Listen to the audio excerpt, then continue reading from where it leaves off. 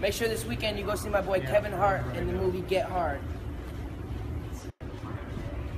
Make sure this weekend you go see my boy Kevin Hart in the movie Get Hard.